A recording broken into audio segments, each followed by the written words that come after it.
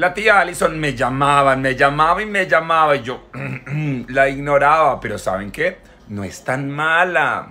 Pues digamos, qué bruto, qué bruto, qué menso la telenovela de tu vida, pues no.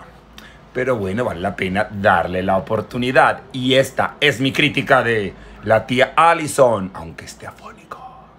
Empecemos con la Juliet, aunque me tiene bloqueado y no quiere saber nada de mí, a mí en cambio me parece que está haciendo un personaje muy bueno y que es muy buena actriz, como siempre lo he dicho.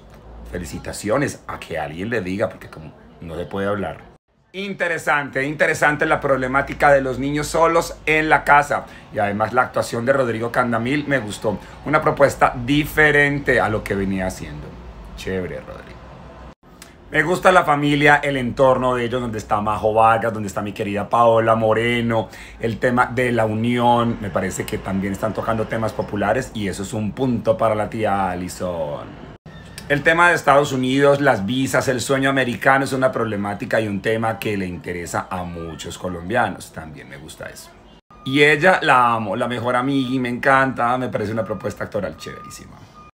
Nada, nada que hacer. Yo amo a Manuela González y que regrese a las telenovelas. Esto me parece es noticia en el mundo del melodrama. Gracias, Manu, por volver. Este cuentito de ellos dos también está interesante. Y bueno, beso, pero... Mm, beso, beso, rico. Maravilloso ver a Margalida Castro, esta primerísima actriz colombiana, con un drama porque está enfermita de cáncer. Pero bueno, eso creo yo que va a llegar a conocer Humberto Dorado en el lugar donde la meten. Mm. Ay, me hacía mucha falta. ¿Dónde estaba esta grandiosa actriz? Gracias por aparecer en las pantallas. Y además aquí el tema de préstamo de dinero también es interesante.